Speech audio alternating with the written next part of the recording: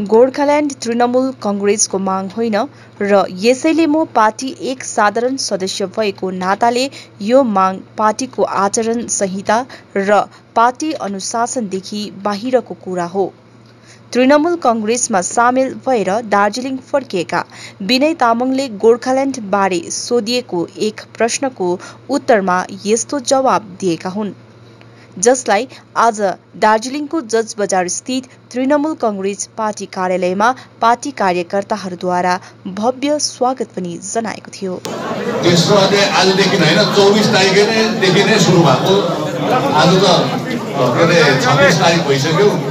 त्यसले गर्दाखेरि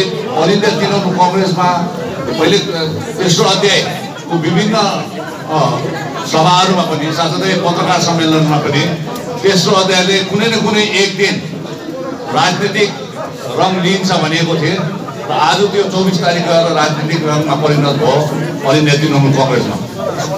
तपाईँको मेन मोटिभ चाहिँ के थियो तृणमूलमा? पहाडको जनताको हित भलाइ सुरक्षा र अधिकारको निम्ति अल इन्डिया तृणमूल कङ्ग्रेसमा गएको हौँ।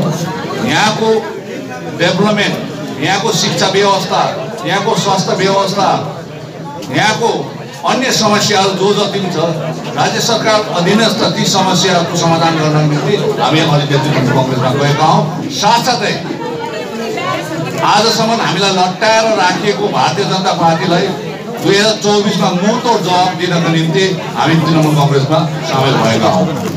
अब आउँदो दिनमा इलेक्सनको कुरा गर्नुभयो। तपाईँ आफै पार्टिसिपेट गर्नुहुन्छ इलेक्सनमा पार्टिसिपेट आफै गर्नुहुन्छ जति बेला म गोर्खा जनमुक्ति मोर्चा पार्टीमा थिएँ मैले आफ्नो अर्गनाइजर हेर्छु भनेर चुनावमा लड्दिनँ भनेको थिएँ। अब म अर्को पार्टीमा आइसकेपछि पार्टी हाइकमान्डले यदि मलाई योग्य सम्झेर कुनै चुनाव चुनावमा उतार्छ भने मैले स्वीकार गर्नुपर्छ।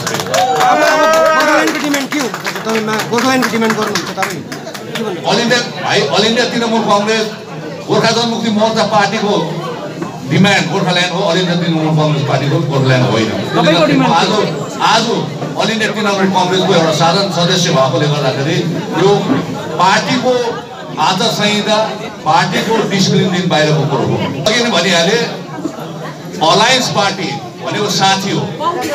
अलायन्स भनेको पानीको मुहानदेखि सिन्टेक्समा ल्याएर सिन्टेक्सबाट फेरि बाँड्नु भनेको। मैले चाहिँ मुहानमै पाइप लगाइदिएको अब